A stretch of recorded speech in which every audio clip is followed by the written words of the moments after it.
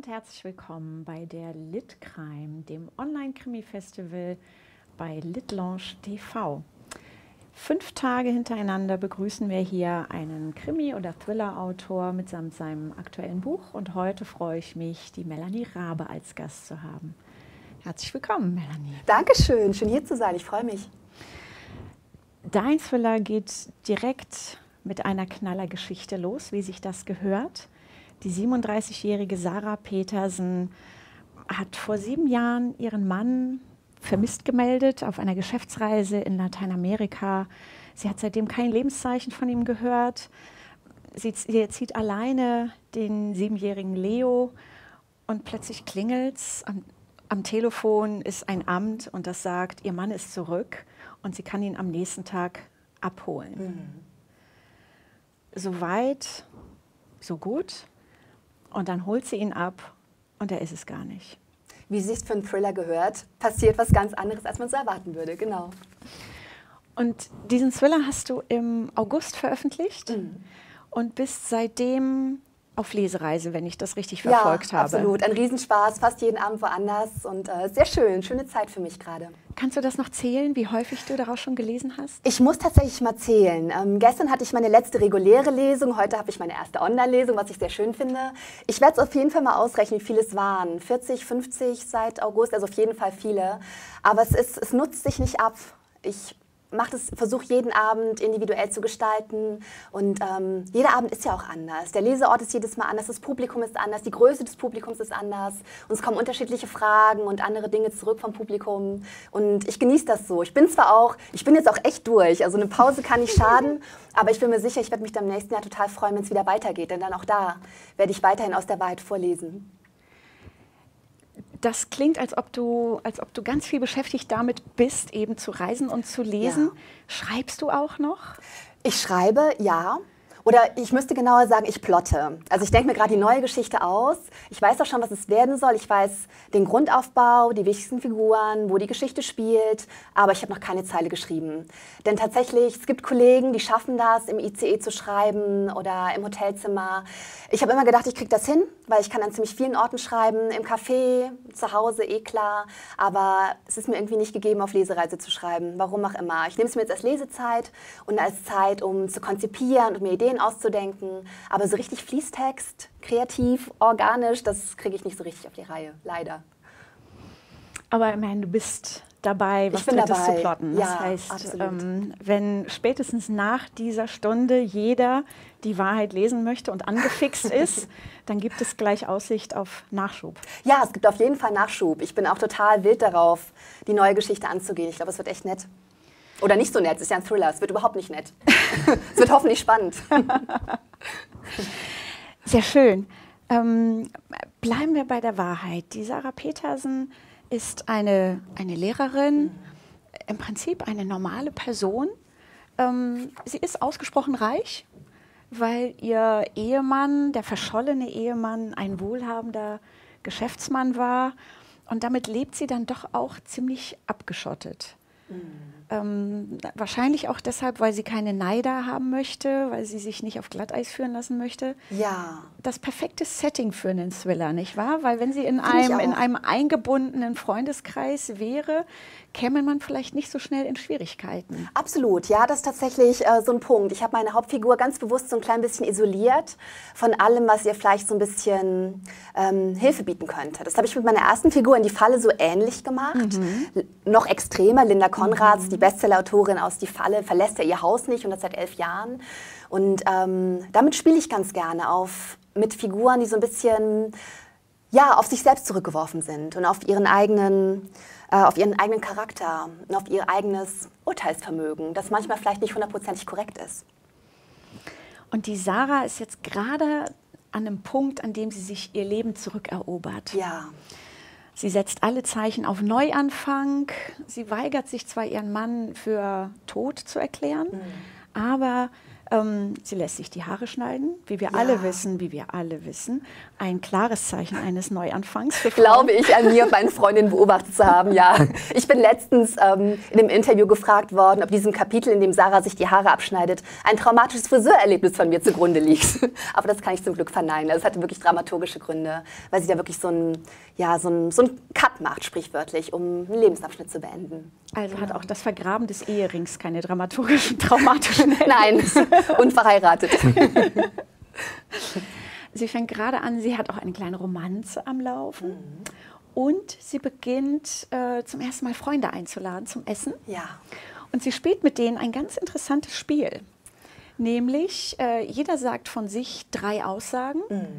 Zwei davon sind wahr, eine ist gelogen. Ja. Und die anderen müssen raten, welche denn gelogen ist. Richtig. Ein ziemlich gemeines Spiel. Interessant auch ein sehr, aber auch, eher ein sehr kreatives Spiel auch. Total. Spielst du das selber auch? Habe ich noch nie gemacht. Ich überlege gerade, ob mir was Interessantes einfällt. Äh, mm, ich habe schon mal Brad Pitt getroffen. Okay. Ich bin schon mal von einem Bungee-Kram gesprungen. Ja. Und ich habe ähm, ein Arschgeweih tätowiert. Eins davon ist gelogen. Wow. Daraus würde ich jetzt gerne ein Gewinnspiel machen. Aber, liebe Zuschauer, wir haben schon ein Gewinnspiel für Sie. Und zwar ähm, geht es dabei darum, welches Getränk man am besten zu Melanie Rabes Thriller liest. Ähm, möchtest du uns das gleich verraten? Soll ich es verraten? Darf ich es schon verraten? Als kleiner Cliffhanger, bevor wir dann zurückgehen auf die drei Aussagen, fände ich das ganz gut. Okay, ich habe mich tatsächlich als Getränk zu meinem Buch für Gin Tonic entschieden. Und warum? weil mein Buch eine Mischung ist. Es ist so ein bisschen ein klassischer Roman, aber auch ein hoffentlich sehr spannender Thriller mit allem, was dazugehört, mit Cliffhangern und ganz vielen Wendungen. Und ähm, es steckt auch so eine kleine, seltsame Liebesgeschichte drin. Also es ist auch so ein bisschen bitter, süß. Und es, äh, es sprudelt hoffentlich, hoffentlich auch ein bisschen. Es ist auch ein bisschen cool. Also gehören auf jeden Fall Eiswürfel rein. Und ähm, Gin Tonic mag ich eh. Deswegen habe ich gedacht, Gin Tonic. Alles klar. Liebe Zuschauer, Sie können jetzt also den Stream weiterlaufen lassen und sich einen Gin Tonic einschenken. Diesen sich aber auch notieren, denn es gibt etwas zu gewinnen. Wenn Sie an jedem Abend das Lieblingsgetränk der Autorin notieren und bis zum 4. Dezember an litlounge.randomhouse.de schicken, dann gibt es zu gewinnen als ersten Preis einen E-Reader von Tolino und je ein signiertes Exemplar dieser fünf Bücher, die wir diese Woche vorstellen, und dazu auch noch die Hörbücher. Aber nicht nur der erste Gewinner geht äh, mit einem großen Päckchen nach Hause, sondern es gibt vier weitere Buchpakete mit jeweils einem signierten Exemplar und einem Hörbuch. Also, heute haben Sie das vierte Getränk ähm, erfahren. Freuen Sie sich auf morgen und gießen Sie sich jetzt erstmal einen Gin Tonic ein, während ich mit Melanie Rabe überlege, welche der drei Aussagen über dich wahrscheinlich nicht stimmen. Ich tippe jetzt einfach mal auf Brad Pitt. Die stimmt aber. Um Jemine. Dann frage ich nicht weiter. Das wird mir zu intim. Ich habe kein Arschgeweih, ich sage es einfach. Gott sei Dank. Ich hatte ein wenig Sorge. Alles gut. Dann gratuliere ich zu Brad Pitt. Dankeschön. Ja, das spielt äh, Sarah in Gedanken nachts nach dem Abend. Sie spielt es allerdings mit drei anderen Aussagen. Ja, die wesentlich prekärer sind als Wesentlich prekärer. Die erste sagt, ich bin eine Betrügerin. Das kann ja alles Mögliche sein. Da kann man Absolut. mal in der Ehe einen Seitensprung gemacht Ja. haben. Da kann man ja aber auch, ich sag mal, die Oma umgebracht haben, um Absolut, an den alles. Geschäftsschatz Ja. zu kommen. Ne? Da ist ja schon eine Menge bei. Also Ziemlich offene Aussage, Ja, ja. sehr. Vor allen Dingen mit, kombiniert mit der zweiten Aussage, ich habe jemanden umgebracht. Mhm. Das wird nicht besser. Nicht unbedingt. Und die dritte Aussage ist dann, ich habe ein Tattoo an einer verborgenen Stelle. Mhm. Man wünscht sich, dass es das Tattoo ist. Ja.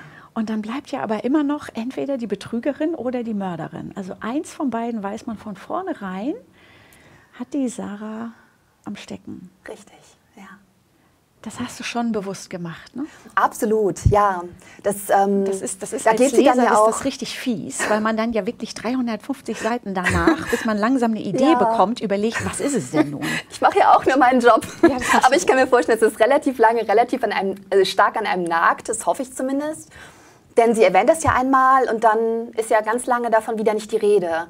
Und ähm, ich wollte natürlich, dass man das, dass es wie so ein ja, wie so ein kleiner Haken ist. Und dass man dann irgendwann beim Lesen vielleicht nochmal dran denkt, ach Moment, welches davon war es denn jetzt? Und was hat sie denn jetzt gemacht? Und ähm, sowas mache ich ganz gerne. Es soll ja auch, es soll ja auch spannend sein. Man soll ja auch an einem großen Rätsel, einem großen Geheimnis rumknobeln bis zum Schluss.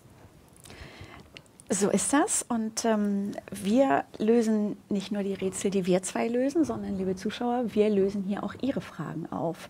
Sie haben die Möglichkeit, sowohl bei der Lit Lounge ähm, als auch bei Lovely Books im Fragefeld Ihre Fragen zu hinterlassen.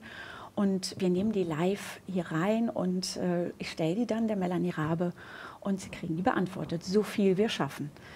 Ähm, Sie können die Melanie Rabe siezen oder duzen. Wie Sie mitbekommen haben, duze ich sie, weil wir uns schon etwas länger kennen und ich die Freude habe, die Melanie Rabe schon mehrfach interviewen zu dürfen. Aber wir hören auf alles. Vielleicht, während die Zuschauer sich die ersten Fragen überlegen, magst du die erste Stelle lesen? Gerne. Und zwar geht es, wenn ich das richtig im Kopf habe, darum, dass die Sarah jetzt am Flughafen steht. Richtig.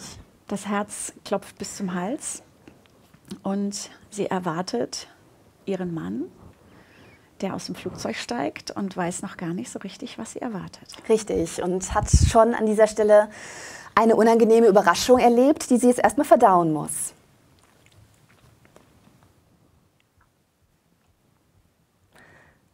Die Welt steht still. Die Gesetze von Zeit und Raum gelten nicht mehr. Schwerelosigkeit.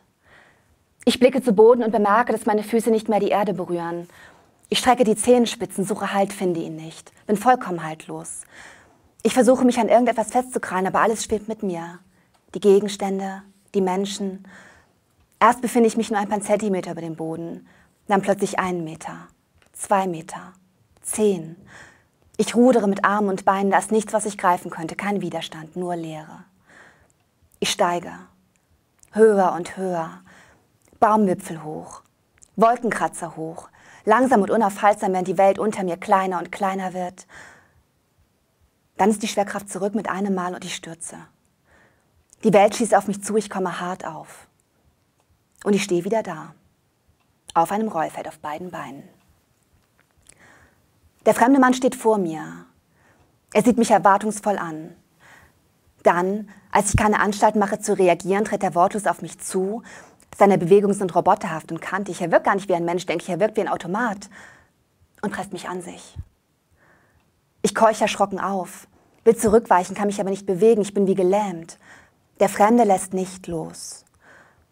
Ich starre dem Mann, der da vor mir steht, ins Gesicht, suche nach einem Anzeichen des Erkennens, finde nichts. Es ist nicht die Tatsache, dass Philipp groß und kräftig war, während dieser Mann kaum größer ist als ich. Es ist doch nicht der Bart, der die Wangen bedeckt, so dass ich unmöglich sagen könnte, ob der Fremde auch Grübchen besitzt, so wie Philipp sie hatte. Es ist noch nicht einmal die seltsame Art, mit der dieser Mann sich bewegt. Es sind seine Augen, denen jede Wärme fehlt und die gleichzeitig viel dunkler sind als die Augen, in die ich mich verliebt habe vor so vielen Jahren. Die Härchen in meinem Nacken stellen sich auf. So erschöpft der Fremde auch wirken mag, von ihm geht eine beunruhigende Energie aus. Das ist nicht Philipp. Harter Tobak. Die arme Sarah. Die arme oder? Sarah landet direkt im Schock und hatte ja sowieso gemischte Gefühle, ihren Mann zurückzubekommen. Stimmt. Sie hatte ja vorher schon an den Abschied öfter gedacht, als er aufs Geschäftsreise ging. Ähm, war es ein etwas sprachloser Abschied? Ja. Ähm, Philipp wurde ebenfalls zitiert. Du schreibst das ganze Buch aus der Sicht von Sarah, aber immer wieder mittendrin kommt auch zum einen Philipp und auch der Fremde zu Wort. Ja. Der Fremde, den wir hier kennengelernt haben. Philipp in ihren Gedanken und der Fremde dann tatsächlich als einzelne Kapitel. Und so erinnert sie sich auch, wie Philipp, ähm, ja, Philipp wollte an dem Morgen noch mal was sagen. Es war etwas unausgesprochen und sie bezog sich auch auf eine Nacht, in der etwas passiert mhm. ist und mhm. seitdem die Beziehung anders war. Sie ist sprachloser geworden. Und dann ist der Mann verschwunden. Das heißt, Ja. man konnte das auch nie klären. Es ist gar nicht, es hängt in der Luft, ob diese große Liebe nun, wie wäre sie eigentlich weitergegangen? Mit einem großen Knall oder sehr, sehr eng? Man weiß es nicht so Man weiß richtig. es nicht. Richtig. Von daher ist dein Thriller auch eine Beziehungsgeschichte. Freut mich, dass du das so siehst und so sagst. Genauso habe ich das tatsächlich auch angelegt. Ähm, primär von der Struktur und das allererste soll es natürlich ein Psychothriller sein und möglichst spannend. Aber das, was ich hier miterzählen wollte und was auch so ein, ja, so ein kleines Experiment war für mich als Autorin, war, ich erzähle eine sehr seltsame, überhaupt nicht herkömmliche Liebesgeschichte im Gewand eines Thrillers, möglichst ohne Abstriche bei der Spannung. Das war das, was ich mir tatsächlich vorgenommen habe, als ich an diesen Stoff rangegangen bin.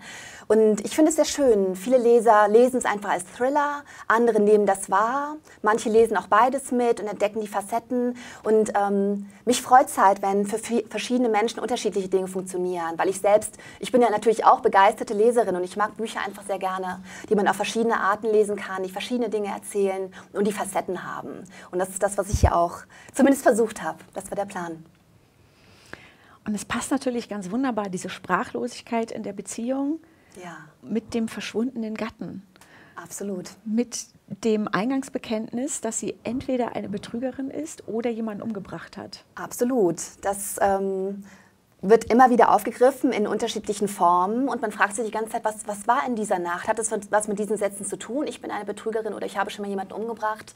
Und was ist da eigentlich im Argen? Und du hast ja schon erwähnt, ich ähm, lasse ja auch den fremden Mann, der sich wenn man Sarahs Perspektive glaubt, als Hochstapler bei ihr einschleicht, den lasse ich ja auch erzählen. Und der lässt Sarah, die ja erstmal sehr harmlos und relativ sympathisch wirkt, ganz anders dastehen, als man so meinen könnte, wenn man ihre Perspektive liest. Und das ist halt so ein Vexierspiel, das ich da gerne so ein bisschen ausprobieren wollte, wo auch die Sympathien vielleicht immer mal wieder hin und her wechseln. Und man weiß beim Lesen auch gar nicht, wer von den beiden jetzt eigentlich paranoid ist. So soll es sein. Freut mich, dass du es so gelesen hast. Beobacht, ist das inspiriert von Beobachtungen? Ist das, nimmst du das wahr? Sitzt du, sitzt du am Tisch mit Freunden, befreundeten Paaren und, und siehst, Mensch, da ist irgendwas passiert, da herrscht Sprachlosigkeit und dann geht dein Thriller-Autorin Hirn los und denkst, was passiert, wenn sie ihn verschwinden lässt? Manchmal, also schon, es hat schon mit Beobachten auch zu tun. Ne? Oft ist es gar nicht so konkret, dass man in dem Moment denkt, "Hm, das könnte ich vielleicht verwenden für, für eine Szene oder für ein Kapitel.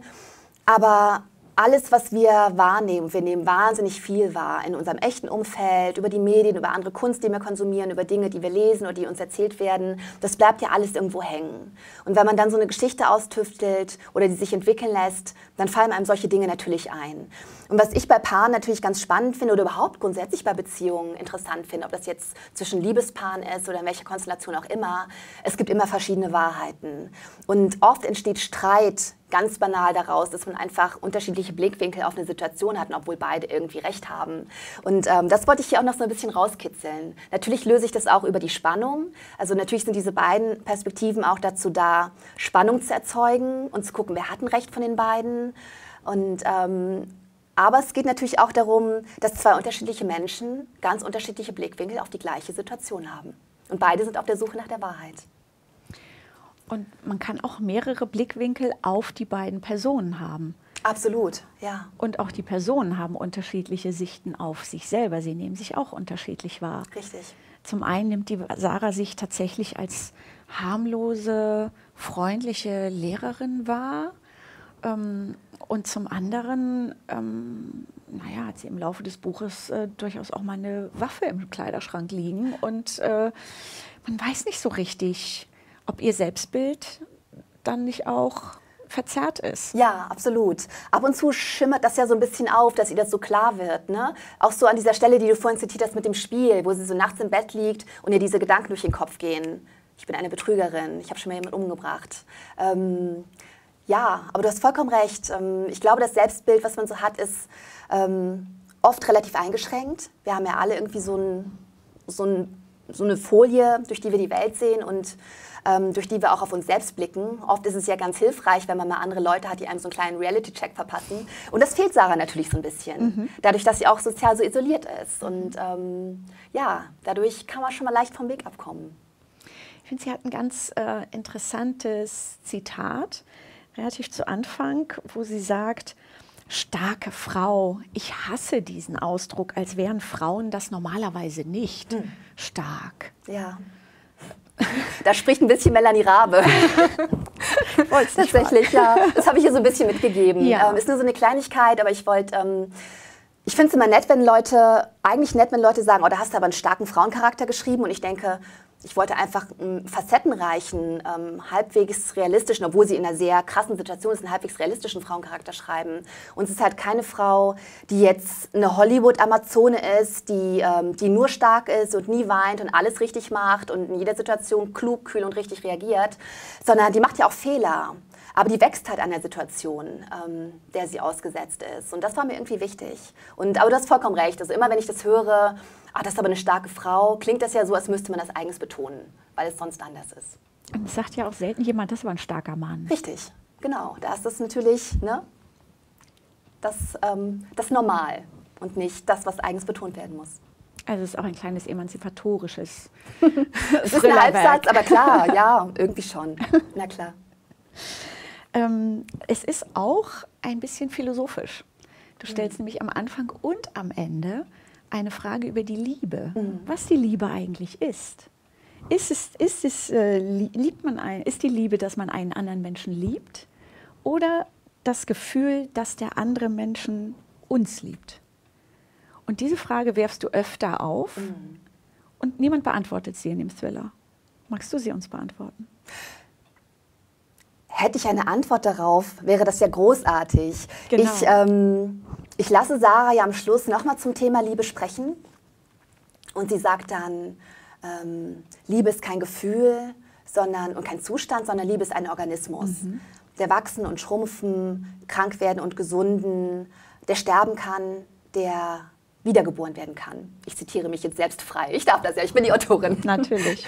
Und ähm, das glaube ich so ein bisschen tatsächlich, dass ähm, das ist ja nichts, was einfach da ist. Das will gepflegt werden, wie, ähm, wie Beziehungen nun mal gepflegt werden wollen. Es ist nichts, was man für selbstverständlich erachten kann, sondern etwas, wo man, ähm, wo man immer was tun muss. Und es kann einschlafen, es kann wieder aufwachen und es ist alles irgendwie relativ geheimnisvoll. Warum verlieben wir uns in Person X und nicht in Person Y? Ich habe keine Ahnung. Ich finde es unglaublich mysteriös und ähm, mindestens so geheimnisvoll wie jeder Thriller dieses Planeten. Und irgendwie habe ich es deswegen so miteinander verbunden. Das ist auch ein großes Rätsel, die Liebe. Deshalb verliebt sie sich ja auch gleich nochmal in ihren Kollegen. Wie gesagt, im Neuanfang. Ja. Ähm, und äh, dieser Kollege ist von Anfang an sehr fasziniert von ihr. Die starke Frau, eben ja. die Marathonleute, ja. Triathlon oder Marathon Triathlon, Tri ja. Triathletin ist. Etwas, was ich niemals täte, woran man sehr merkt, dass diese Figur nicht ist wie ich. Dass ich unglaublich unsportlich bin. Und da habe ich ihr ganz bewusst noch so was äh, Körperliches mitgegeben. Ja, genau. Und ihm gegenüber ist sie ja auch nicht wirklich ehrlich, sondern er schleicht sich dann, er klopft abends an der Tür und sagt, kann ich nicht auch mal hier übernachten? Es wäre doch schön, ja. wenn der Sohn mich auch mal kennenlernt und wir einander verstehen. Der, der möchte in dieses Leben rein mhm. und sie ja, sie muss ein bisschen geschubst werden. Sarah fühlt sich dann auch so richtig gefangen ne? in dieser in der Ehe, die natürlich längst vorbei ist, weil ihr Mann seit sieben Jahren weg ist. Aber dadurch, dass sie weder weiß, ob er noch lebt oder tot ist, kann sie irgendwie keinen Abschied finden und kann, kann sich das nicht so richtig. Es gibt ja nun mal keinen Abschied, es gibt keine Todesnachricht, kein Grab. Und sie versucht dann mühevoll, sich diesen Abschied selbst zu bauen. Aber sie wohnt nun mal noch im Elternhaus ihres Mannes und hat noch diesen gemeinsamen Sohn. Und irgendwie schwebt es immer noch über ihr, kommt er vielleicht doch noch mal zurück. Und deswegen schafft sie es irgendwie erstmal nicht so richtig, sich da wirklich komplett von zu lösen. Versucht es natürlich, das ist ja auch der Moment, mit dem ich ins Buch einsteige, wo sie versucht, wirklich einen Cut zu machen. Aber das fällt ihr nicht leicht. Es würde ihr, glaube ich, leichter fallen, ähm, wenn einfach klar wäre, Philipp ist tot. Aber diese Sicherheit ist ihr ja über sieben Jahre lang nicht geboten worden. Genau, und dann das Wechselbad der Gefühle, dass er doch lebt und wie wir gerade gehört haben, der Mann, der ihr als Philipp vorgestellt wird. Sarah ist sich ganz sicher, das ist nicht mein Mann. Das ist nicht Philipp. Ja. Da haben wir es vorhin ähm, stehen lassen mit der Textstelle. Ich bin mir sicher, es war natürlich auch ein kleiner Cliffhanger, wie sich das für Thriller gehört. Ja. Ähm, machen wir ein bisschen weiter. Gerne. Ich lese noch eine kleine Textstelle mhm. vor ganz klein bisschen weiter hinten im Buch. Sarah ist jetzt vom Flughafen nach Hause geeilt und ähm, hat den fremden Mann draußen stehen lassen und sich im Badezimmer eingeigelt und versucht erstmal klarzukommen mit dieser ganzen irren Situation, der sie jetzt ausgeliefert ist. Ich zwinge mich, meinen Atem zu beruhigen. Ein und aus. Ganz ruhig. Ein paar Augenblicke sitze ich so da. Dann erinnere ich mich plötzlich wieder an eines meiner ersten Gespräche mit Herrn Hansen vom Auswärtigen Amt. Ich hatte ihn gefragt, ob ich mit meinem Mann nicht schon vor seiner Ankunft in Hamburg skypen oder telefonieren könne. Hansen versprach sich darum zu kümmern und sich wieder bei mir zu melden, was er auch tat. Er klang betreten, als er mir mitteilte, dass mein Mann nicht vorab mit mir zu sprechen oder gar zu skypen wünsche. Zudem wolle Philipp nicht, dass ich unseren Sohn mit zum Flughafen brächte und wäre froh, wenn ich das Kind für ein paar Tage woanders unterbringen könnte. Bei Freunden vielleicht. Ich war vollkommen vor den Kopf gestoßen von dieser Zurückweisung. Philipp wollte mich nach all den Jahren nicht so schnell wie möglich sprechen und seinen Sohn nicht sehen.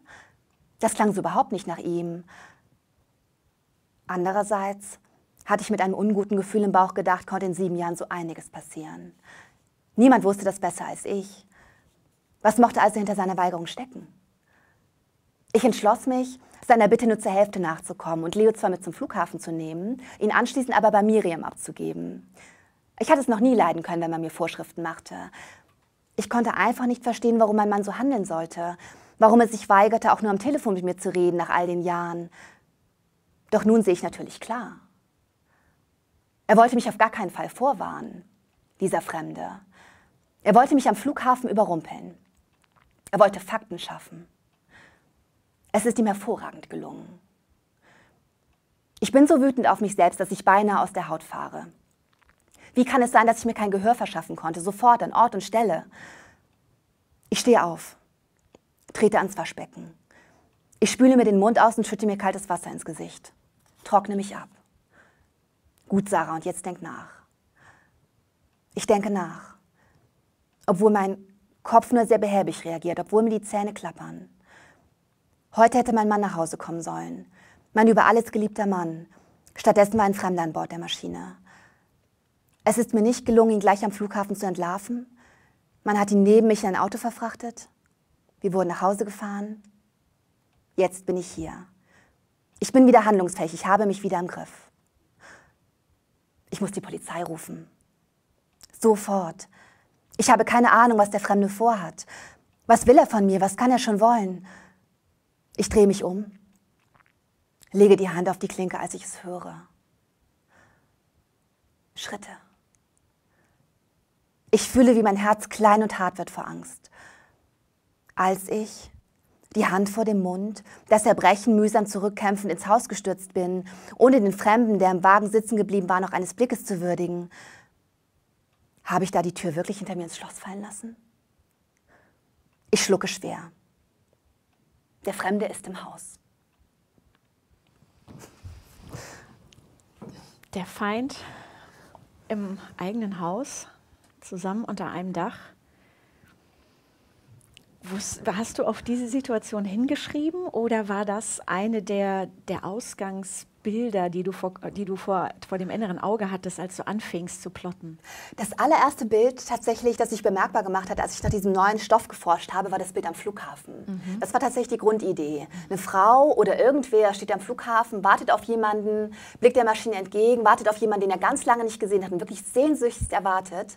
Und dann passiert was ganz anderes.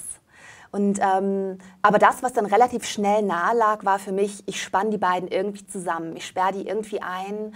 Ähm, das ist jetzt natürlich nicht so ein geschlossenes Setting, aus dem Sarah nicht raus könnte. Aber der Fremde, wie sie ihn nennt, geht ja sehr clever vor. Man merkt ja relativ schnell, Sarah merkt relativ schnell, dass er viel über sie weiß, erschreckend viel, auch Dinge, die man nicht so einfach googeln oder recherchieren kann. Auch offensichtlich Dinge, die eigentlich nur sie und Philipp wissen können. Und Ihr wird relativ schnell klar, dass ja offensichtlich auch dieses düstere Geheimnis, um das sich in Sarahs Leben ja einiges dreht und das sie ab und zu ähm, vom Schlafen abhält, wir haben ja vorhin kurz darüber gesprochen, dass er dieses Geheimnis zu kennen scheint zu kennen scheint. Er macht ja nur Andeutungen und sie ja. fühlt sich sofort ertappt. Absolut. Man ja. weiß gar nicht, ob er nur einfach stochert Richtig. und getroffen hat oder ob er es tatsächlich weiß. Richtig. Und von daher weiß sie auch nicht, weiß er es wirklich? Genau, ja. Und ähm, ab und zu reflektiert sie das ja und denkt sich, irgendwie hat ja jeder eine Leiche im Keller. Vielleicht sagt er es einfach nur so, weil man wahrscheinlich eine Trefferquote von 100 Prozent hat, weil jeder irgendwas hat, von dem man nicht möchte, dass es irgendwer erfährt. Aber sie ist ja so erpressbar, dass sie diesen Hochstapler nicht aus ihrem Haus wirft und dass sie vorsichtig ist und nicht die Polizei ruft. Und da kann man ja vermuten, dass es schon was Gravierendes sein muss, von dem Sarah nicht möchte, dass es irgendwer erfährt. Und er ist sich extrem sicher darin, dass sie die Polizei nicht rufen wird. Richtig, ne? es gibt so einen ganz markanten Moment, ganz noch relativ früh im Buch, wo Sarah sich sagt, okay, ich rufe jetzt wirklich die Polizei, es reicht. Mhm. Und der fremde Mann ist mit ihrem Raum mhm. und reagiert darauf völlig entspannt und sagt, liebe Sarah, das kannst du schon machen, aber wisse, wenn du mich jetzt bloßstellst, dann erzähle ich auch was über dich. Und Sarah lässt den Hörer wieder sinken. Es gibt auch die Stelle, wo er den Telefonstecker gezogen hat. Richtig. Als sie ganz unbedingt die Polizei rufen wollte. Und als er sich dann sicher war, hat sie wieder im Griff, steckt er den Stecker wieder rein und er hat recht gehabt. Ja, absolut. Also da ist so eine, ja, so eine, so eine, so eine Macht, die er über sie hat, die sie natürlich auch wahnsinnig macht. Und das Schlimme ist, sie kann da nirgendwo mit hin, so richtig, weil sie so ein zurückgezogenes Leben führt. Ihre beste Freundin, der kann sie es irgendwie, der erzählt sie es zwar, aber die, die, die findet sie dann überspannt. Ja. Ja, und vor allem sagt Sarah ja nicht, Sarah rückt ja nie mit der ganzen Wahrheit heraus, auch nicht ihrer besten Freundin gegenüber, was ein Problem ist weil die beste Freundin würde dann natürlich sagen, ja, ruf doch die Polizei. Genau. Und das will Sarah nicht tun, ja. weil der Fremde ne, irgendwie irgendwas weiß, wovor sie offensichtlich sich allergrößte Angst hat, dass das rauskommt, auch sogar Angst hat, ihren Sohn zu verlieren, wenn das rauskommt. Und ähm, dementsprechend sind ihr da so ein bisschen die Hände gebunden tatsächlich. Sehr erpressbar. Das hat mich beim Lesen aber auch fast wahnsinnig gemacht, weil ich dachte, Sarah, verdammt nochmal, ruf die Polizei. Ja. Hol dir einen Anwalt, mach irgendwas. Ja. Lass dich doch hier nicht zu Hause so drangsalieren. Ja, denkt man sich schon, dass es was Schlimmes sein muss, ne, wenn sie das nicht tut. Ja. ja. Also es ist schon ein auf die Folter spannen, ja. was du da tust. Dazu nehme ich jetzt die erste Zuschauerfrage. Oh ja, rein. ich bin gespannt. Und zwar hat Patricia, vielen Dank Patricia, gefragt, woher du das Konzept für die Handlungen nimmst. Ist es inspiriert durch Personen aus deinem Umfeld oder aus dem Fernsehen oder wie kommst du da drauf? Woher kam das Bild mit dem, mit dem Flughafen und dem, ja. äh, den, den Personen, die du über, gegenübergestellt hast und wie hat sich es dann entwickelt? Bist du durch irgendwas inspiriert? Ja, tatsächlich. Ähm, schöne Frage, Patricia. Ähm, Inspiration kommt überall her. Manchmal sind es tatsächlich Menschen, die ich persönlich kenne. Manchmal sind es Dinge, die ich lese, die ich irgendwo höre. Ähm, als ich angefangen habe, die Falle, mein Debüt zu schreiben, hat mir jemand ganz konkret von einem Magazinartikel erzählt über eine Autorin, von der er mal gelesen hat, die nie das Haus verlässt. Mhm. Daraus wurde Linda Konrads. Jetzt bei dem Buch hat es, glaube ich, ein bisschen damit zu tun, dass ich so viel reise, seit die Falle erschienen ist und so viel an Flughäfen und Bahnhöfen bin. Das sind wahnsinnig emotionale Orte, finde ich. Denn ich habe meinen Kopf immer entweder tief in einem Buch oder ich gucke mir Leute an, wenn ich warten muss am Bahnhof oder am Flughafen. Und was man super häufig sieht, sind so Wiedersehensszenen, wo Leute, die sich offensichtlich lange nicht gesehen haben, sich wieder begegnen und ähm, sich manchmal tränenreich in die Arme fallen. Und das war tatsächlich, ich glaube, das hat dieses Bild ausgelöst. Ich muss mal so eine Situation gesehen haben. Ich kann mich nicht an diese ganz konkrete Situation erinnern, aber so eine Situation, in der ja, dieses, dieses Wiedersehen ad absurdum geführt wird. Das war so die Grundidee wirklich für, für die Wahrheit. Also Inspiration, gute Geschichten liegen auf der Straße, wenn man Augen und Ohren offen hält, finde ich. Danke, Patricia. Du hast schon gesagt, dass, äh, dass du auf Reisen viel liest. Mhm. Und dazu fragt Lisa liest, äh, was du denn gerne liest. Ob du privat auch Thriller liest oder andere Bücher. Ich bin so ein richtiger literarischer Allesfresser. Ich lese alles, wirklich. Ich war als Kind schon ein Bücherwurm, ich habe Literatur studiert, das war immer, Bücher sind mein Liebstes und ich lese wirklich querbeet durch alle Genres. Ich lese klassische Literatur, ich liebe die Klassiker, ich lese gern Spannung, ich lese gern Fantasy, ähm, Liebesromane, ganz klassische Liebesromane, da gehe ich nicht so ran. Gibt es vielleicht irgendwann auch eine Phase, wo ich das mehr lese? Es verschiebt sich immer so ein bisschen, was gerade meine Interessen sind. Science Fiction liebe ich auch total. Also ganz querbeet. Ich habe immer einen großen Stapel ungelesener Bücher zu Hause der türmt sich, damit ich dann immer, wenn ich mit einem Buch fertig bin, genau das Richtige rausgreifen kann, wie in so einer eigenen Bibliothek, was gerade zu meiner Stimmung passt oder worauf ich gerade Lust habe. Wenn ich gerade schreibe, fällt es mir schwer, andere Literatur zu lesen, ähm, weil ich mich dann wirklich so auf meinen Stil und auf meine Geschichte konzentrieren will. Und dann lese ich sehr viel Sachbuch tatsächlich und keine Literatur. Aber irgendwas lesen muss ich immer. Ich habe gerade gedacht, da du ja gesagt hast, du liest so viel, wenn du unterwegs bist. Mhm.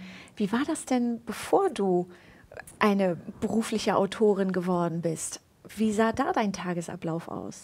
Ganz unterschiedlich. Ich war ja viel journalistisch unterwegs in Köln als freie Journalistin und jeder Tag, genau wie jetzt, jeder Tag war anders. Und äh, meistens habe ich ganz früh morgens geschrieben, bevor so die Arbeit begann, weil ich nur dann Zeit hatte. Und dann habe ich meine, meine Jobs gemacht, Interviews geführt oder Sachen recherchiert und geschrieben. Und abends, was man so macht, Freunde treffen, ausgehen, lesen hast natürlich. Du da, hast du da mehr gelesen oder hast du jetzt mehr Zeit zum Lesen beim Reisen? Ich hatte da wenig Zeit und habe jetzt wenig Zeit. Das eigentlich hat sich gar nicht geändert. Also Lesezeit zwacke ich mir immer ab. Ich bin auch einer von diesen absurden Menschen, die sogar auf der Rolltreppe lesen und da noch irgendwie eine Seite einschieben. So aus der Bahn. Du machst es auch. Aus der Bahn raus, da hat man gelesen und man weiß, bevor es raus auf die Straße geht, schnell noch die Seite zu Ende auf der Rolltreppe. Also mhm. Zeit zum Lesen schaufel ich mir frei. Das muss sein ich bin auch, wenn ich, wenn ich einkaufen gehe, höre ich sogar ein Hörbuch. Also ich habe am, am ja. liebsten habe ich das Buch im, als Buch und als ja. Hörbuch, damit ich dann nicht aufhören muss, wenn ich unterwegs bin. Das ist super. Geht dir das auch so? Das habe ich tatsächlich noch nicht gemacht, dass ich dann von, äh, vom gleichen Text Hörbuch und Buch habe. Aber es ist eine sehr, sehr gute Idee. Ja, kriegt man noch mehr geschafft. Schöne Idee. ja, und dazu fragt Latina, ob du Einfluss hattest auf die Wahl der Sprecher von dem Hörbuch zu Die Wahrheit. Ja, hatte ich glücklicherweise, ich bin sehr, sehr glücklich mit den Sprechern. Ich finde die ganz mhm. wunderbar. Mhm. Ähm, Nina Kunzendorf, Andreas Pietschmann, David Striso. Mhm. Und Nina Kunzendorf, es ist ganz seltsam gewesen, als ich zum ersten Mal die CD eingelegt und mir das angehört habe. Denn ich, ich höre ja meinen Text. Ich höre ja, wie mein Text klingen würde, wie ich ihn lesen würde und wie er für mich wahr ist. Und Ganz spannend bei Die Falle, Birgit Minichmeier, die Die Falle gelesen hat, hat den Text ganz anders interpretiert, als ich es gemacht hätte. Ich fand es aber trotzdem grandios. Und Nina Kunzendorf hat, es war fast unheimlich, den Text exakt so gelesen, wie er in meinem Kopf klang. Wow. Wahnsinn, Wahnsinn, Wahnsinn. Also ich war absolut begeistert. Ich finde sie großartig. Andreas Pietschmann hat mir Gänsehaut bereitet, als ich, äh, als ich gehört habe, wie er liest. Was wahrlich nicht am Text liegt. Den Text kenne ich zur Genüge, da kriege ich keine Gänsehaut mehr. Also auch wahnsinnig, wahnsinnig toller Sprecher. Und David Striso liebe ich und habe mich total gefreut, dass der auch wieder an Bord ist. Denn der war auch schon bei der Falle dabei. Mhm. Also der Hörverlag, der die ähm, Hörbücher rausbringt, ähm, spricht mich da immer an und wir kooperieren da und suchen das gemeinsam aus. Worüber ich mich sehr freue. Das ist super. Ich kann es bestätigen, ich habe das Hörbuch als Ganzes auch gehört. Zusätzlich, ich wollte eigentlich nur mal reinhören und habe es dann komplett gehört. Das ist auch ungekürzt ja. und fand es auch faszinierend gesprochen. Also ja. ähm, nochmal vielleicht als kleiner Anreiz für das Gewinnspiel, wenn Sie noch wissen, wer es das Getränk war, was man am besten zu Die Wahrheit liest und das mit den anderen Getränken aus dieser Woche kombinieren, dann bekommen Sie, wenn Sie einer der fünf Glücklichen sind, nicht nur das Printexemplar, sondern auch das Hörbuch dazu und der erste bekommt sogar noch einen E-Reader. Dann haben Sie wirklich alle Medien zusammen, um überall zu lesen. Ich habe eine anonyme Frage, die da heißt, ob dein nächstes Buch wieder ein Spannungsroman oder ein Thriller wird. Ja. Hallo Anonym. ähm, mein nächstes Buch wird auf jeden Fall wieder ein Spannungsroman. Ich, ähm, ich habe schon ganz kurz erzählt, der Plot ist in meinem Kopf weitestgehend fertig und ich glaube und hoffe, es wird sehr spannend. Es wird anders funktionieren als die Wahrheit, aber es wird auch wieder, und dem werde ich, glaube ich, immer treu bleiben, es wird auch wieder unblutige Spannung sein. Es wird auf jeden Fall wieder ähm, Spannung sein, die eher im Kopf stattfindet, sehr psychologisch. Und ähm, ich glaube, es wird erneut nicht gefoltert, niemand wird die Haut vom Körper gezogen, es wird nicht vergewaltigt. Und ich glaube, ähm, ich hoffe, es wird trotzdem mindestens so spannend wie die Wahrheit. Ich arbeite dran, mal gucken. Und verrätst du uns da auch die Situation, die dich dazu inspiriert hat? Ah, die Situation. Mh, mm, nein. Nein, tut mir leid. Dann, bald. Dann bald. freuen wir uns, das äh, zu lesen eines ja, Tages. Das freut mich. Ja, es ist für mich immer total schwer, es noch nicht zu erzählen. Ja. Ähm, weil ich immer so eine so die Anfangsbegeisterung für ein neues Projekt, für ein neues, äh, für ein neues Buch, für ein neues kreatives Projekt, die ist natürlich sehr groß. Und eigentlich möchte man es sofort teilen. Und der Abstand zwischen, der zeitliche Abstand zwischen ich bin begeistert mhm. und es erscheint, mhm. ist riesig. Mhm. Aber ich muss mich echt dazu disziplinieren, noch nichts zu sagen, weil ähm, ich bin auch so ein bisschen abergläubisch. Also ich mache es erstmal fertig und dann teile ich es mit der Welt. Aber, Aber ich würde gerne. Das stelle ich mir auch ganz schwierig ja, vor. Ist es, total. Vor allem, wenn man wirklich ähm, gerade so aufgeregt ist und auch Leute fragen will, wie findest du das? Um dann zu hören, ja, das wird super. Aber da muss man, da ist man auf sich selbst zurückgeworfen, muss erstmal selber gucken ähm, und sich selbst klar machen. Wird das super, der wird es nicht super und sich da auf sich selbst verlassen. Dann bleiben wir doch einfach bei dem aktuellen Buch noch Gerne. ein bisschen. Da haben wir nämlich eine Frage zu einem ganz bestimmten Wort, was du darin verwendest. Es ist ein Codewort, was sich Sarah und Philipp am Anfang ihrer Liebe geben. Mhm. Sarah hat Angst, dass die Liebe vielleicht schwindet. Sie sagt, kurz vor der Hochzeit kriegt sie kalte Füße und sagt, was passiert, wenn wir uns streiten, wenn wir uns eines Tages nicht mehr lieben. Ja. Und dann schlägt Philipp ein Wort vor, das sie als Codewort nutzen können, um sich daran zu erinnern, dass sie sich lieben. Ich kann das nicht aussprechen. Aber du kannst. Muss ich es jetzt aussprechen? Ich, ich würde oh mir helfen. Ich überlege gerade, ob ich es noch zusammenkriege. Mami Lapinatapai heißt es, glaube ich. Das, sieht, ist, ja. Ja, das ist eins der am schwersten zu übersetzenden Worte. Ähm, ich bin auf dieses Wort gekommen, weil ich irgendwann mal einen Artikel gelesen habe über Worte, die nur in einer Sprache vorkommen und ganz schwer in andere Sprachen zu übersetzen sind, mhm. weil es sie in anderen Sprachen nicht gibt. Mhm.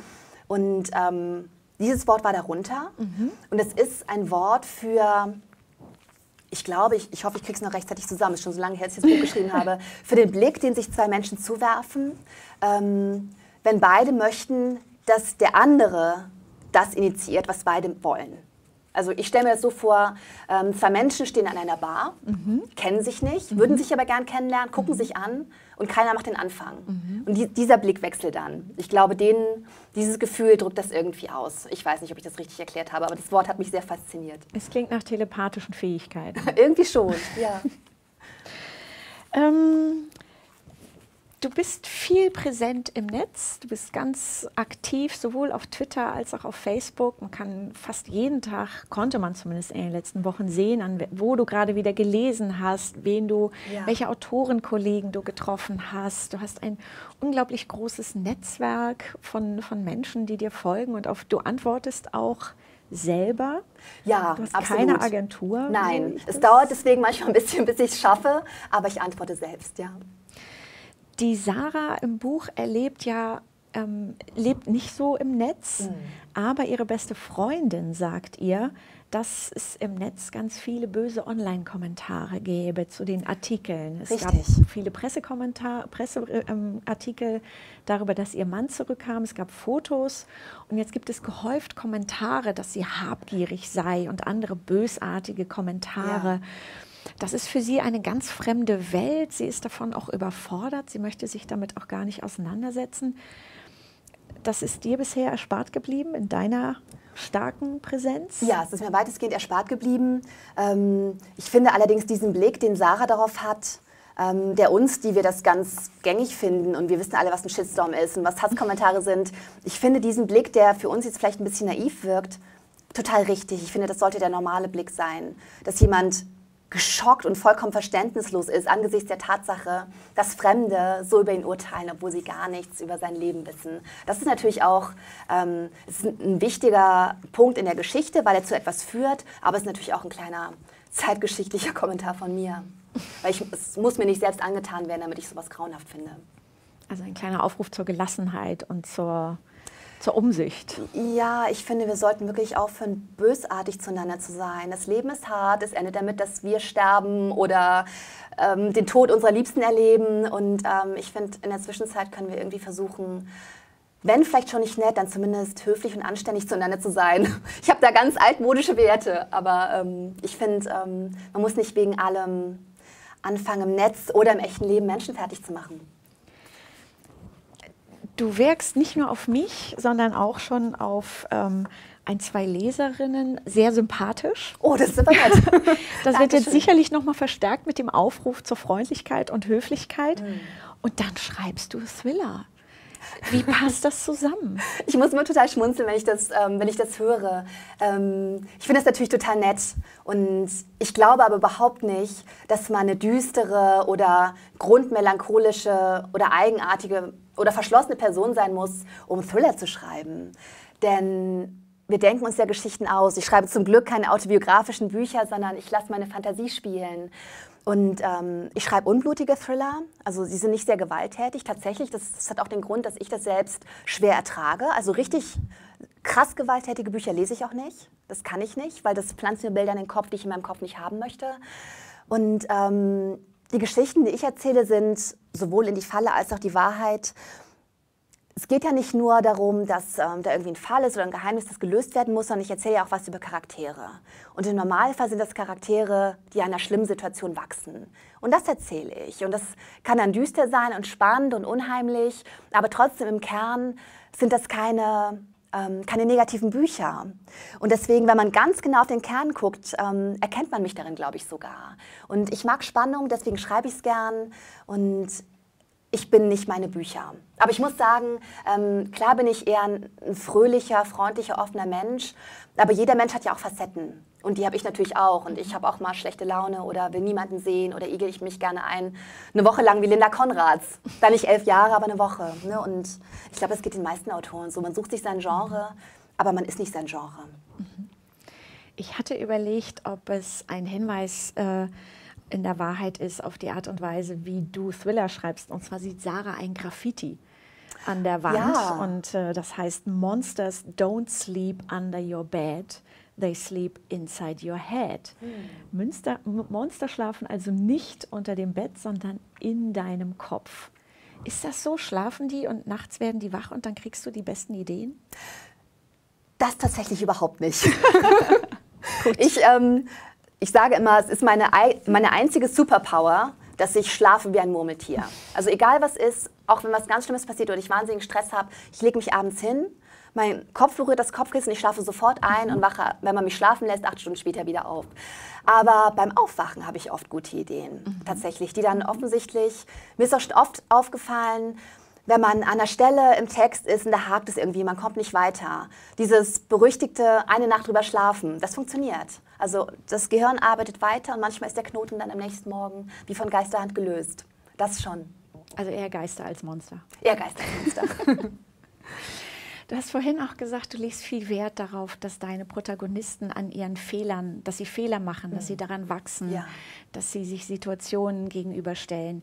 Wie entwickelst du diese Protagonisten? Wie entwickelst du ihre Eigenschaften? Passiert das, während du schreibst, dass die, dass die Protagonisten immer runder werden, immer facettenreicher werden? Oder setzt du dich am Anfang hin und überlegst dir, wie sieht der aus? Wovor hat der Angst? Mhm. Wozu hat der Mut? Was ist das für ein Mensch? Ja, es ist so ein bisschen eine Mischung. Mhm. Also das Allermeiste passiert wirklich während des Schreibens, mhm. weil ich das Gefühl habe, dass einem die besten Ideen wirklich kommen, wenn man schon ein bisschen im Arbeitsprozess drin ist. Es wird dann immer runder, immer runder, immer runder. Aber so bestimmte Grundkonstellationen lege ich schon ganz am Anfang an. Ähm, aber wirklich nur so das Skelett der Figur dass das Dasein und das stimmen muss das genauso sein muss, damit es für diese Geschichte funktioniert. Also die Grundeigenschaften, Geschlecht, Alter, vielleicht den Job, das lege ich schon an. Und so die Grundkonstitution, also ich habe so ein, so ein grobes Gefühl dafür, wie die Figur sein, wie die ticken soll. Und dann probiere ich rum und dann entwickelt sich das. Und dann nehme ich hier wieder was weg, bisschen wie ein Bildhauer. Nehme hier was weg, schleife da wieder was ab. Und ähm, wenn ich zu doll mit dem Meißel dran rumhaue und die Nase geht dann ab, dann tue ich die Figur ganz weg und fange nochmal neu an. Ähm, so, es ist auch viel, viel Rumspielen dabei. Ich wünschte, ich hätte so, äh, so ein Gehirn, dass ich am Anfang sofort alles wüsste und es dann nur noch aufschreiben muss. Aber das ist mir nicht gegeben. Ich entwickle noch ganz viel, während ich schreibe. Die Sarah mag Radiohead total gerne. Ja. Sie erinnert sich so wehmütig an das Konzert, auf dem sie war auf dem sie, glaube ich, fast vom Blitz erschlagen wurde oder so. ja.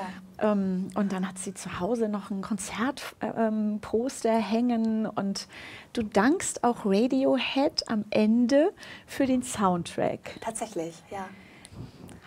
Hast du Musik im Kopf, wenn du schreibst? Oder hörst du Musik, wenn du schreibst? Oder wie kommt es ja, dazu? Musik ist ganz wichtig für mich und mein Schreiben. Zum einen höre ich tatsächlich Musik, während ich schreibe. Ähm, ich habe, als ich die Falle geschrieben habe, mein Debüt, ganz, ganz viel Radiohead gehört. Immer wieder die gleichen Songs.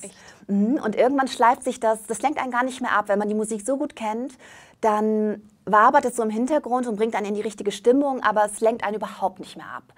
Und, und, du kriegst das auch nicht über? So ein Buch schreibst du ja gar nicht, über Monate. Gar nicht. Es gibt natürlich auch Stellen, an denen ich gar keine Musik höre, an ja. denen ich was anderes höre. Aber ich habe gemerkt, so die, der Grundton für die Falle, das waren so bestimmte Songs von Radiohead. Und irgendwann war ich ganz lustig auch so ein bisschen darauf konditioniert, ähm, sodass, wenn ich jetzt bestimmte Radiohead-Songs höre, ich sofort denke, ich muss mich an den Schreibtisch setzen und schreiben, wie so ein Pavlovscher Hund. und ähm, tatsächlich ähm, kommt in meinen Büchern auch immer Musik vor. Mhm, in die genau. Falle kommt ein bestimmter Song von den Beatles vor, All You Need Is Love. Und in die Wahrheit habe ich du kennst das Buch ja, habe ich, weil ich Radiohead so liebe und weil ich sie, als ich die Falle geschrieben habe, so oft gehört habe, der Band ein kleines literarisches Denkmal gesetzt. Das ist ja diese Szene, die du gerade angesprochen hast. Sarah und Philipp lernen sich auf einem Radiohead-Konzert in Hamburg kennen. Sie fällt ihm in die Arme. Sie fällt ihm in die Arme. Was ist denn, äh, begleitet dich Radiohead auch durch den aktuellen Thriller, den du jetzt schreibst, durch den nächsten, durch den dritten? Ich glaube nicht. Ich habe, als ich die Wahrheit geschrieben habe, auch schon, du jetzt die Musik? Ich wechsle immer die Musik. Ich habe auch, als ich die Wahrheit geschrieben habe, schon wieder andere Sachen gehört. Ähm, ich habe da viel Nick Cave gehört, ähm, auch ein bisschen, ein bisschen Klassik. Sibelius machte sich gut für, für die Wahrheitsfindung und ähm, habe da so ein bisschen rumprobiert. Und den Soundtrack fürs neue Buch weiß ich noch nicht hundertprozentig, aber ich werde mir einen suchen, weil das wirklich hilft. Es hilft manchmal ganz banal, einfach nur den Alltag auszublenden und manchmal hilft es, die Atmosphäre einzufangen und es hilft aber auch, so einen bestimmten Rhythmus zu kriegen, weil ich das auch gerne mag, wenn Sprache so ein bisschen rhythmisch ist. Mhm. Und ähm, da hilft es auch manchmal, Musik zu hören mhm. beim Formulieren. Mhm. Dazu passt eine Frage von, wenn ich äh, den Benutzernamen richtig lese, Trump-Trompete, die da heißt, ob du dir vorstellen kannst, ein Projekt mit einem anderen Schriftsteller ähm, anzugehen. Und welcher wäre dafür dein absoluter Lieblingskandidat? Der müsste dann oh. ja das oh. gleiche Lied hören. Wow, ja, stimmt. Wir müssten dann so synchron. Ja. Oh, das ist aber eine gute Frage. Ähm ich finde das super spannend, wenn Schriftsteller das machen. Schöne Frage, vielen Dank. Ähm, ich finde es zum Beispiel ganz toll bei Ursula Posnanski und Arne Strobel, mhm. die ja ähm, ganz tolle Thriller miteinander schreiben. Ich glaube, dass ich das nicht könnte. Ich habe meine Geschichte ab einem bestimmten Punkt so deutlich im Kopf. Und normalerweise kann man mit mir über alles verhandeln, aber ich möchte tatsächlich meine Geschichte genauso erzählen, ähm, wie sie sich für mich richtig anfühlt. Und Wer weiß, irgendwann, wenn ich ein paar Bücher mehr auf dem Buckel habe und mich da schon mehr ausgetobt habe, vielleicht kriege ich dann Lust, mal was mit einem anderen Autor oder einer anderen Autorin zusammen zu schreiben. Aber momentan möchte ich, dass da wirklich mein Stempel drauf ist und dass ich alles schuld bin, was Leute blöd finden, dass ich alles schuld bin, was Leute gut finden, dass es wirklich nur ich bin irgendwie, weil ich erzähle so gerne und ähm, es ist so schön, das tun zu dürfen. Aber mit wem würde ich schreiben, wenn ich das machen würde? Vielleicht mit Wenn's deinem Lieblingsautor. Wer ist denn dein Lieblingsautor? Mein Lieblingsautor ist kein Thriller-Autor, kein Spannungsautor. Das ist ein äh, amerikanischer Autor namens Jonathan Safran Foer. Mhm. Ganz wunderbarer Literat. Ich liebe ihn sehr. Ähm, aber ich glaube, ich glaube, ich nehme Sebastian Fitzek. Ich liebe Sebastian Fitzek, nicht nur, weil er tolle Bücher schreibt und so wahnsinnig produktiv ist, sondern weil er so eine nette Person ist. Mhm. Und ähm, er ist nicht nur nett zu Kollegen, er ist so wahnsinnig nett zu seinen Fans und er ist so ein Arbeitstier und macht alles. Und wenn er acht Stunden signiert hat und dann noch einer ankommt, dann signiert er dieses Buch auch noch mit der gleichen Liebe wie das erste Buch. Und ähm, ja, mit so jemandem arbeitet man gerne zusammen. Also wenn, dann doch Sebastian Fitzek. Und dann würden sich ja auch zwei mit der gleichen Leidenschaft treffen für das äh, Spannungsgenre. Ja, absolut. Das, ähm, das könnte ich mir auch gut vorstellen. ne, oder? Mhm. Und dann äh, gibt es eine Frage von Miriam, hallo Namenskollegin. Hallo Miriam. Die da fragt, wie wichtig ist es dir, dass deine Bücher so erfolgreich sind? Du warst von Anfang an mit der Falle auf der Bestsellerliste. Mhm. Ich glaube, ich meine, die Falle ist in über 20 Länder verkauft mhm, worden. Ja. Das ist für ein Debüt außergewöhnlich. Das ist total irre, ja. Wie wichtig ist dir das? Welche Bedeutung hat das in deinem Leben? Das ist für mich sehr schön und ähm, natürlich irgendwie auch wichtig.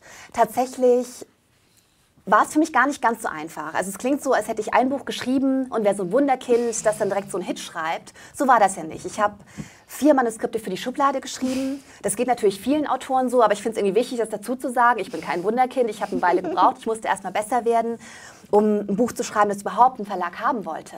Und da das ein relativ langer Prozess war, über zehn Jahre und in jedem Buch viel Arbeit und viel Zeit und viel Herzblut drin steckt, ähm, war ich nach Buch vier, das abgelehnt wurde, an dem Punkt, okay, das wird nichts mehr. Ähm, ich bin nicht gut genug oder ich passe nicht zu großen Verlagen oder ähm, habe einfach nicht das letzte Quäntchen Glück. Und als das dann mit der Falle plötzlich so lief, war das für mich natürlich total irre, weil mein Selbstbild war chronisch erfolglose Autorin. Das hat mich jetzt nicht total runtergezogen. Ich schreibe gern, ich hätte nie aufgehört zu schreiben. Aber ich habe immer gedacht, und das klingt jetzt nach Niedrigstapel im Nachhinein, aber ich habe immer gedacht, irgendwo ein kleines Taschenbuch, da wäre ich schon glücklich. Weil ja. mich ja wirklich kein Verlag haben wollte. Ja. Und ähm, dass das dann so durch die Decke gegangen ist, ist total irre. Weil es für mich gar nicht so ist, mein Selbstbild war nicht, ich bin super und das wird alles ganz toll, sondern mein Selbstbild war, vielleicht schaffe ich es noch irgendwann, wenn ich dranbleibe, vielleicht schaffe ich es noch irgendwann. Und deswegen denke ich jetzt, wenn mir das passieren kann, ein Buch erscheint, es wird in 21 Ländern verkauft, Hollywood kauft die Filmrechte und in Deutschland ist es ein Bestseller. Wenn mir das passieren kann, dann, ohne Quatsch, dann ist alles möglich. Dann kann jeder alles hinkriegen. Und ähm, das ist irgendwie ein verrücktes Gefühl. Und das ist das, was mir am allerwichtigsten ist an meinem Erfolg. Und deswegen erzähle ich auch so gerne, dass ich kein Wunderkind bin, sondern dass es gedauert hat und dass da viel Misserfolg vorangegangen ist. Und ähm, das dann irgendwie doppelt schön, wenn es dann plötzlich klappt. Die Durchstrecke ist halt schon lang gewesen, durch die du da musstest. Was meinst du, wie lange hättest du das noch durchgehalten? Mm, ich weiß nicht genau. Ich war nach jedem Buch sehr geknickt, das ja. abgelehnt wurde, weil man ja. natürlich auch, man denkt natürlich nicht, hey, ich bin die beste Autorin des Planeten, aber man denkt, man hat es ja geschrieben, weil man an die Geschichte glaubt und weil man alles gegeben hat, um die rund zu machen und schön zu machen und sie schön zu erzählen. Und natürlich tut es dann weh, wenn das abgelehnt wird. Aber ich war dann immer ein, zwei Wochen bedröppelt und dann ist mir eine neue Geschichte eingefallen und dann wollte ich die unbedingt erzählen und habe das gemacht. Also ich hätte immer geschrieben, ich weiß aber nicht, ob ich irgendwann aufgehört hätte anzubieten. Weil vielleicht hat man dann irgendwann keine Lust mehr, sich die Absagen einzufahren und denkt sich, ja Mai, dann drucke ich es halt oder machst das E-Book und schenk's meinen Freunden. Ähm, ich weiß es nicht. Aber irgendwie, ja, irgendwie hatte ich es noch nicht so ganz aufgegeben. Zum Glück hat es funktioniert. Glück. Vielleicht hättest du das Literaturhoroskop befragen können, so wie Sarah das ja, immer macht. Ja. Die geht zu ihrem großen Bücherregal und greift blind eins raus, schlägt blind eine Seite auf, liest daraus und sieht das als Tageshoroskop. Ja. Auch eine schöne Idee. Da finde ich auch du darauf gekommen. Ja, ich weiß nicht mehr, wie es mir einfiel. Ich habe das einfach irgendwann mal gemacht. Ich bin so an meinem Bücherregal entlang gegangen, vielleicht auf der Suche nach etwas, was ich als nächstes lese und habe ein Buch rausgegriffen und fand es dann interessant zu gucken, was ist es denn jetzt? Und es war tatsächlich ähm, Jack Kerouac on the Road. Ein Buch, das ich bereits gelesen hatte, aber das habe ich dann tatsächlich auch hier reingepackt. Ja. Das ist auch eines der Bücher, die Sarah rauszieht, als sie dieses Literaturoskop ähm, befragt. Und ihre Interpretation ist natürlich, dass on the road bedeutet, sie werden eine Reise machen genau. und bald unterwegs sein. War das auch deine Interpretation? Ja, irgendwie. Das, ähm, das, Erste, was mir eingefallen ist, ist jetzt natürlich relativ banal, aber. Ja. Das hat sich ja bewahrheitet. Du ja, bist ja stimmt. auch viele, viele Lesereisen stimmt. jetzt gegangen. Ja. Nächstes Jahr bist du nochmal unterwegs, hast du gesagt. Wann geht's los? Wo kann man dich überall hören, Ui, sehen? Weil ja. wir kommen langsam zum Ende. Ja, schade, Und, ja, schon. Geht ja richtig schnell. Es geht schnell. Und ich, äh, von ja. daher, wer dann äh, dich auch nochmal ganz live haben möchte und nicht das Glück hat, ein signiertes Exemplar zu gewinnen, Wann gehst du wieder auf Tour? Ja, ich muss mal überlegen. Ich hoffe, wir sehen uns. Es geht im Januar direkt wieder weiter. Ich habe die Städte nicht alle im Kopf. Ich glaube, ich werde in, in, Hamburg nochmal sein. Da sehen wir uns, glaube ich, nochmal. Ich glaube, du moderierst mich, oder? Ich hoffe Ende es April in Hamburg. Das würde mich klar. sehr freuen. Ja. Ähm, ich werde in München sein, in vielen großen und kleinen Städten, überall in Deutschland. Vielleicht komme ich auch nochmal nach Österreich. Ich habe es gar nicht genau im Kopf. Aber ich werde es natürlich auf Facebook, auf meiner Homepage, auf Twitter, überall erschöpfend teilen. Also, wenn ihr mir folgt oder auf meine Homepage schaut, könnt ihr es nicht verpassen. Ich hoffe, wir sehen uns. Das hoffe ich auch. Und du liest ja auf, ähm, du liest nicht nur auf in Festivals oder organisierten Lesungen, sondern auch in Wohnzimmerlesungen, habe ich jetzt mitbekommen. Ja, immer mal wieder. Also ab und zu kommen Anfragen rein. Ich kann die natürlich nicht alle annehmen. Ähm, ich mag so kleine Lesungen sehr, sehr gerne. Ich mag das, die Leute zu sehen und die direkt vor mir sitzen zu haben und mit ihnen zu sprechen und die auch angucken zu können. Und ähm, auf so kleinen Lesungen kann man das natürlich besonders persönlich und individuell gestalten. Und ab und zu nehme ich Wohnzimmerlesungen mit, wenn es irgendwie geht Ich habe auch schon zweimal welche verlost. Mhm. Einmal zum Erscheinen vom Taschenbuch zu Die Falle habe ich auf Facebook eine verlost und bin dann nach Esslingen, äh, nach Baden-Württemberg gefahren. Und äh, kürzlich habe ich zum Erscheinen von Die Wahrheit eine Wohnzimmerlesung verlost. Und ähm, bald geht es nach Berlin. Ich freue mich schon. Dann ist natürlich mit Erscheinen des nächsten Buches wieder eine Verlosung glaub, einer Wohnzimmerlesung. Ja, ich glaube, ich werde es wieder tun. Ja, es macht echt Spaß und die Leute freuen sich so. Also der Gewinner ist natürlich, oder die Gewinnerin in dem Fall, ist natürlich total aus dem Häuschen. Und das ist natürlich für mich auch schön zu sehen. Und ich mag es eh, ähm, Verlosung zu machen oder die Leute mal mit was zu überraschen. Ich werde auch zu Weihnachten was verlosen. Mhm. Ich verrate noch nicht was. Und ähm, das ist irgendwie nett. Social Media ist irgendwie ganz nett für solche Dinge. Und Platz ist ja, wie gesagt, wie wir alle wissen, in der kleinsten Hütte. Richtig. Das heißt, genau. da können dann sicherlich auch alle mitmachen, weil 20 Leute kriegt man wahrscheinlich in jede Wohnung. Absolut. Das ist auch keine Grundvoraussetzung, dass man irgendwie ein riesen Wohnzimmer hat. Habe ich auch nicht. Ich frage ja auch nicht, wie sieht es denn bei euch zu Hause aus, wie viele Leute passen da rein. Man kann teilnehmen und ich lose dann wirklich jemanden aus. Bis dahin machst du jetzt aber erstmal Pause und schreibst? Ja, den Dezember habe ich mir wirklich geblockt zum Schreiben. Also habe praktisch keine Termine angenommen. Ähm, habe jetzt ist wirklich heute die letzte Lesung in diesem Jahr gewesen. Ein vorgezogenes und, Weihnachtsgeschenk. Ja, mhm. genau. Und ähm, ich freue mich aber auch darauf. Also Lesereise ist wundervoll, es ist ein großes Glück, auch mit den Leuten konkret zu sprechen und den Bücher zu signieren und die wirklich mein Publikum zu sehen. Aber ich freue mich drauf, jetzt wieder am Schreibtisch zu sitzen und mir Sachen auszudenken. Und es ist einfach so ein schöner Prozess, wenn man sieht, so dass dieses Grundgerüst oder diese Grundidee, die ich mir ausgedacht habe, die wächst jetzt. Und da kommt jetzt langsam Fleisch an die Knochen und es entwickelt sich. Und hm, wäre es nicht cool, wenn das jetzt passieren würde? Wäre es nicht spannend, wenn ich hier an der Stelle aufhöre und diese Info später bringe? Es ist so schön, es macht so viel Spaß, sich zu überlegen, woran hätten die Leute jetzt an der Stelle Freude und ähm, das zu wachsen und entstehen zu sehen. Das ist wie lange schreibst du an so einem Buch? Wie lange hast du an der Wahrheit geschrieben? Die Wahrheit hat länger gedauert als die Falle. Ein gutes Jahr. Die Falle war eigentlich in einem Dreivierteljahr fertig.